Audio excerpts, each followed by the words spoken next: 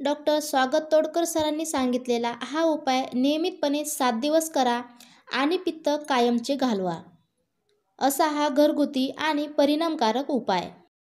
नमस्कार फ्रेंड्स आरोग्य संदेश या आपल्या चॅनलमध्ये सर्वांचे स्वागत आहे. फ्रेंड्स सध्या शंभरपैकी नव्वद ते पंच्याण्णव टक्के लोकांना याचा त्रास होतो. प्रत्येक घरामध्ये आणि घरातील जवळपास प्रत्येकाला होणारा हा त्रास आहे तो म्हणजेच पित्त. फ्रेंड्स मला पित्ताचा त्रास आहे.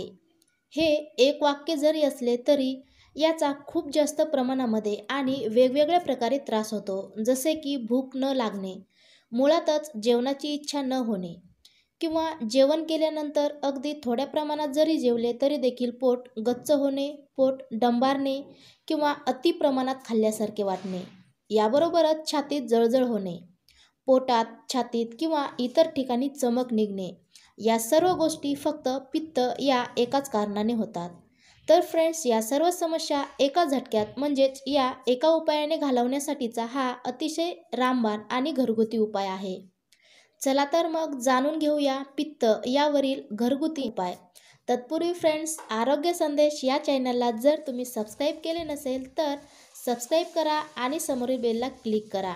जेणेकरून असेच नवनवीन व्हिडिओ घर बसल्या तुम्हाला पाहता येतील. तसेच व्हिडिओ आवडल्यास एक लाईक अवश्य करा.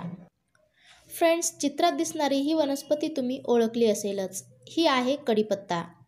अगदी प्रत्येकाच्या दारात असणारी किंवा बाजारामध्ये केव्हाही सहज उपलब्ध होणारी ही वनस्पती म्हणजेच कढीपत्ता.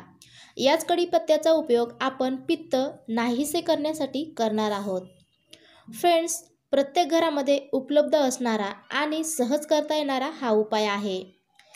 सर्वप्रथम फ्रेंड्स आपण या कढीपत्त्याची पाने काढून घेणार आहोत.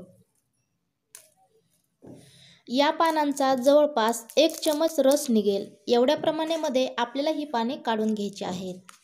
आता ही पाने आपण सर्वप्रथम मिठाच्या पाण्याने धुवून घेणार आहोत. जेणेकरून यावरील बसलेली धूळ इतर घटक नाहीसे होतील. अशा प्रकारे फ्रेंड्स ही कढीपत्त्याची पाने आपण मिठाच्या पाण्यामध्ये धुवून घेतली आहेत. फ्रेंड्स ही पाने आपल्याला ताजी आणि हिरवीच वापरायची आहेत जेणेकरून याचा रस आपल्याला चांगल्या प्रमाणामध्ये काढता येईल. आता आपण या पानाचा रस काढून घेऊ. या पानांचा रस काढण्यासाठी आपण मिक्सरचा किंवा खलबत्त्याचा वापर करावा. फक्त या पानांचाच रस एक चमच आपल्याला करायचा आहे.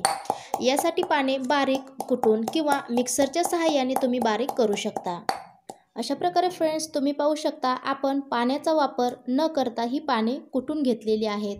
आता हीच पाने आपण गाळणीच्या सहाय्याने गाळून घेऊ आणि याचा रस काढू. याचा अगदी एक चमच रस आपल्याला पुरेसा आहे. पाणी न वापरता याचा रस आपल्याला करून घ्यायचा आहे.